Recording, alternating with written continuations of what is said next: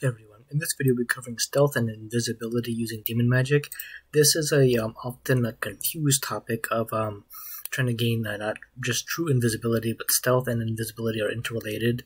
Stealth is just getting by uh, through um, sort of a sleight of hand or um, not having uh, as many people see you, and invisibility, of course, is to be unseen by the by the eye and um, out of sight and out of mind. But uh, these two topics are interrelated because uh, stealth is a different form almost the same thing where you can get in and out of an area or have people not really see you or think of you properly.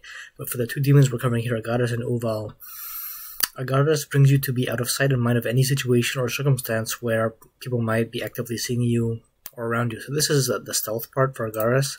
Um, stealth refers to um, being there but not being able to be seen so easily.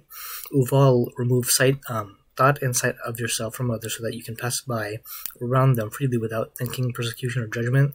They will not be able to think of you or see you while you are around.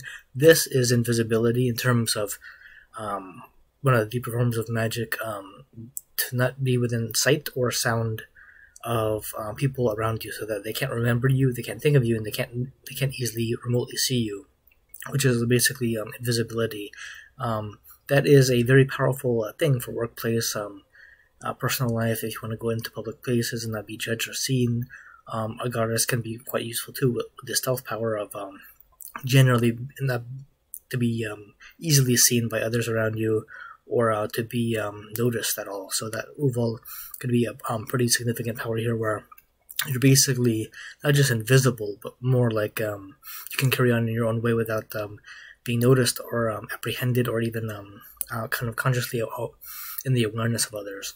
The complementary spirit uh, here is um, Aura, or Aurora. Um, it's a Greek spirit that can do basically the um, the same thing as Agares and Uval, but um, Aurora is a um, just for Greek magic. It would be the same thing for um, a goddess and um, Uval's power of um, invisibility and stealth for um, basically being out of sight and mind. Um, so the stealth part um, Aurora can do, and invisibility part that Uval can do. Um, Aurora can do, which is a Greek spirit, and that's the same. Basically, like you, you can do um, Sumerian magic, Greek magic would use Aurora. Um, uh, Egyptian magic could be the same, but Aurora could cover these two powers pretty easily, and um, his own way. But um, this has been about demon magic, stealth, and invisibility using Agares and Uval. If you'd like to learn more about demon magic, I highly recommend you check out my other videos. And as always, please have the spirits guide you to where you need to be. Thank you.